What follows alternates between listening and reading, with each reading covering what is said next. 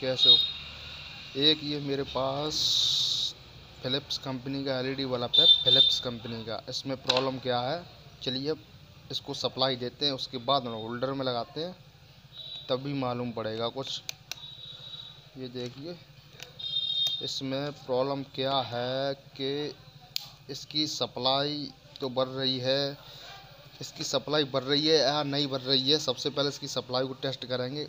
ये मल्टीमीटर लें और इसको ए सी सात से पचास वोल्ट पर सेट कर लें। तब इसके वोल्टेज को चेक करते हैं, इसके वोल्टेज बढ़ रहे हैं या नहीं बढ़ रहे हैं। ये सीट से देख नहीं रहा, चलिए ये है। तो इसके वोल्टेज को चेक कर रहे हैं।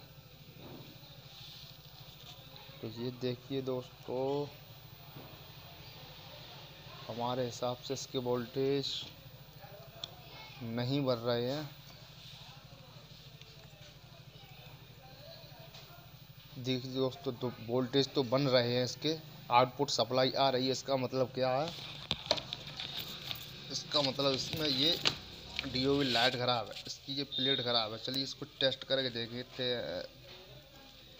इसके सारे बल्ब को आपस में टच करके देगा इसमें जौन सा एलईडी बल्ब ख़राब होगा?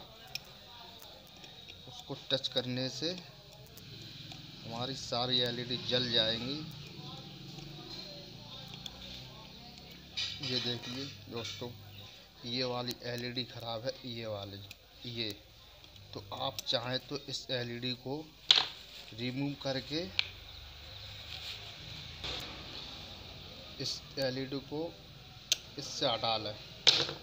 और आपको क्या करना है, इस पर थोड़ा पेस्ट लगाना है और इसे आपस में शोल्ड कर देना आयरन की मदद से।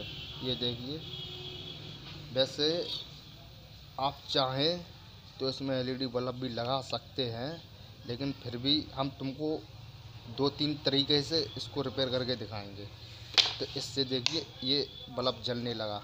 ओके आप इसको हटा के हम आपको एक ट्रिक और बताएँगे।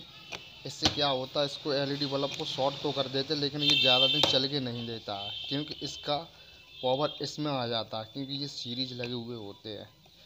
तो हम आपको एक नई ट्रिक बता रहे हैं, उस तरीके से आप इस बल्ब को रिपेयर करना। चलिए हम बता रहे हैं।